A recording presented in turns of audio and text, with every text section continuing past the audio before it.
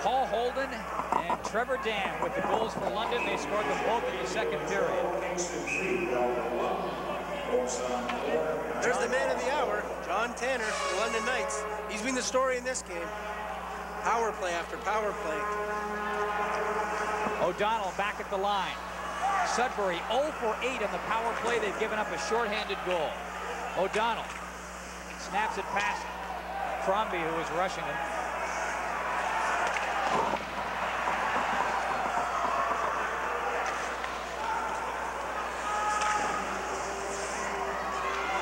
Sees some room. Derek Etches clears it in. Tanner will just dish off. O'Donnell dumps it back in. And the puck touch with a high stick. Well, the power play has really gotten the Wolves into big trouble tonight. 0 for 8. Tim McKenzie can't be too happy about that. He really likes the high finesse game. He likes to see a clean hockey game. He likes to see a fast game and really stresses the skill aspect of the Sudbury Wolves. I know he'd like to see them do some finishing tonight on all the great plays they're making. Matthews and McKay wrestle around the two centermen. Matthews gets it in. Leading it up for Derek Etches, sharp angle. Knocked away by Tanner. O'Donnell up the line, can't keep it in. McKay up ahead to DeBrusk, coming in with Crombie, shoots, scores!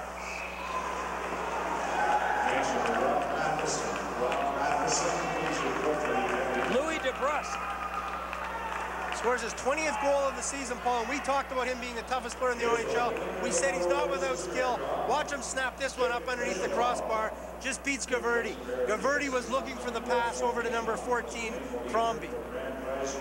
DeBrusk used Crombie as a decoy, came in and just snapped a hard one right over Goverde's glove and up under the crossbar. You can see Goverde looking over. He was casting his eyes over into the slot to see if perhaps the puck might be going over there. Here's Boyd clearing it in for London. And over 5,000 people in this Sudbury Arena. Pretty quiet right now. One wolf. that hasn't moved. Wade Bartley, long pass out at center. Tanner golfing it back out. Very confident Tanner is these days. He steps out and takes matters into his own hands. Up there, puck stolen by Martell. Centers it in front of the net for Anderson. Just bounced over his stick. Anderson crunched in the corner by Jason Young. That's Barry Young wrapped around him. Number three, back to Boyd. Shoots, blocked by Kovacs. Boyd another chance, reloads and fires. The Knights are all over them right now, having a tough time clearing the puck out of their own end. Boyd with a couple of swipes at that. He's got to be enjoying this game. A native of Sudbury, played for the Sudbury Wolves, was traded to the Windsor Spitfires in the deal that brought David Goverde over. And then after that, was traded from Windsor over to London. Wayne Maxner really likes Boyd. He likes to put him out there with Corriveau, two hard-shooting defensemen. And he thinks it's been a great trade to get with the Windsor Spitfires to bring Boyd over. 11-15 to go.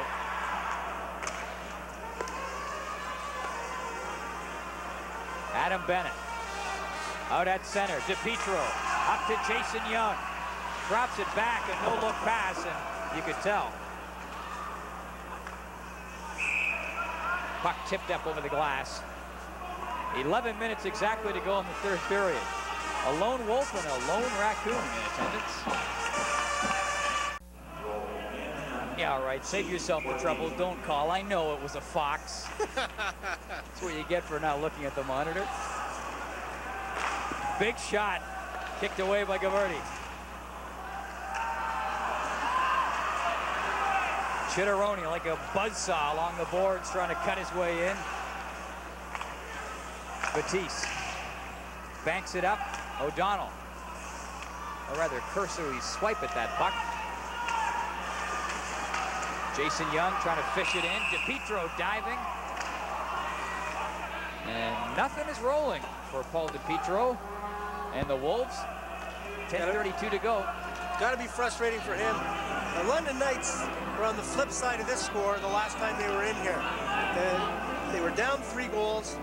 They managed to roar back and tie it up with seven seconds left in the game. Now the challenge is for the Sudbury Wolves to do the same. As DiPietro goes off the ice, they have not been generating a lot of offensive chances when DiPietro or Cahill are not on the ice. Now Cahill's out there now.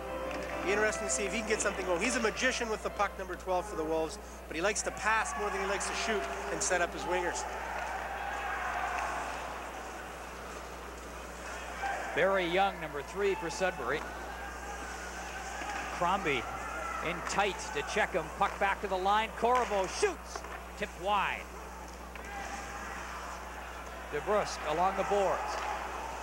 McKay chops it back in. Crombie trying to get after it. Goverde clearing it up around the boards. Cahill out at center. Great move. Cahill shoots.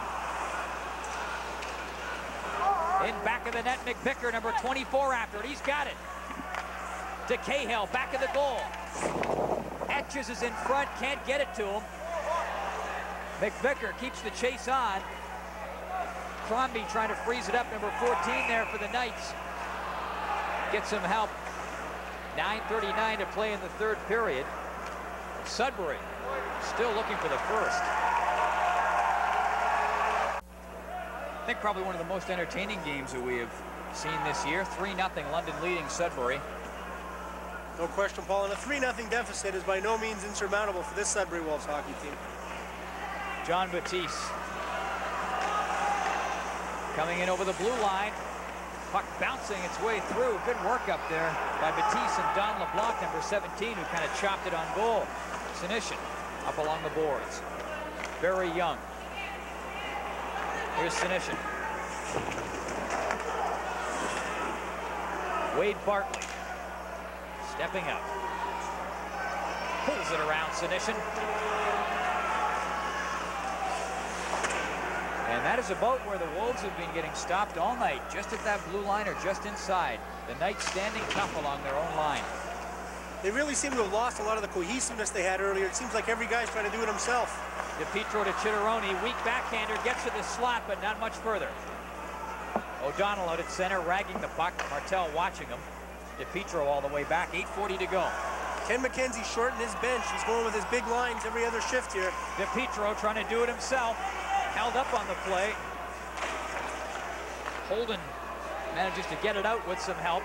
8.28 to play, third period.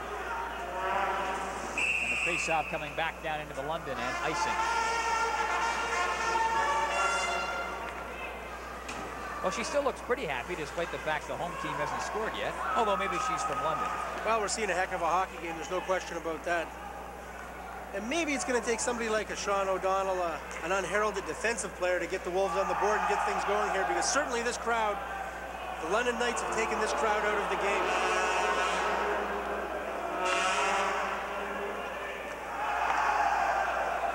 We'll try to get back to that sign if the kids can get a grip on it there.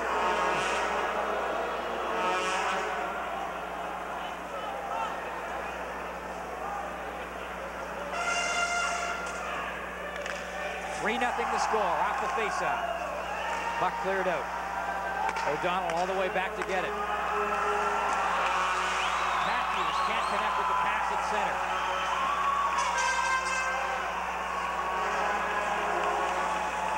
O'Donnell, a little lazy, puck center right in front, rolling in the goal crease. The Knights capitalizing on some lackadaisical play by the Wolves. Todd Lushko, number 16, great chance in front. The Wolves moving in slow motion in their own zone the last few seconds. Glenn Murray finally picks it up. Against Guy, can't get around him. Steve Boyd, long pass out at center. O'Donnell knocks it back up. Matthews steps in, off the boards. Sonmez couldn't get it.